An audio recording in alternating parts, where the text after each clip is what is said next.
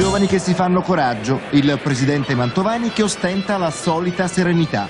Ma non è una domenica come le altre per la Samp, incapace di esorcizzare l'assenza per squalifica di Mancini. Non serve neanche far ricorso alla scaramanzia.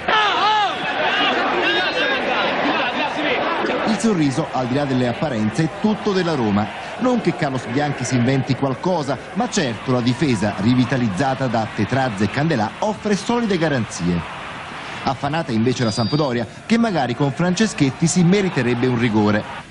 Montella ha la solita convinzione, ma troppe responsabilità lo stremano.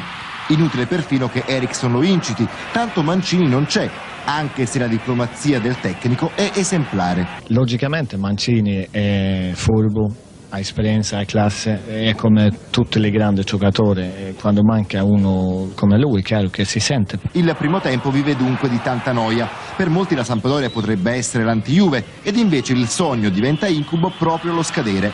Il contropiede della Roma è esemplare.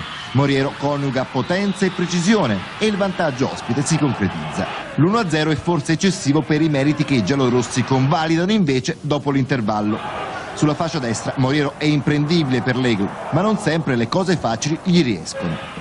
Sono lunghi minuti in cui la Samp a fatica si tiene in scia. La Roma offre invece un calcio veloce ma anche convincente.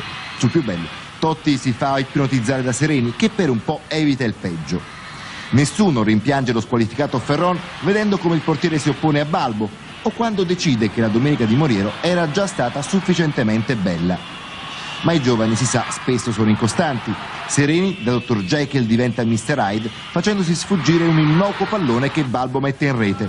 Non gli basta per rimanere capocannoniere, ma almeno garantisce il successo alla Roma nonostante i rimpianti di Legol. Il primo 15 minuti non abbiamo gioca giocato bene e lei ha fatto il secondo gol.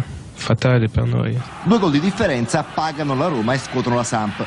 Il pomeriggio rivela anche sottili tensioni su cui l'arbitro Boggi è abile nell'intervenire prima che possano divenire il filo conduttore del finale.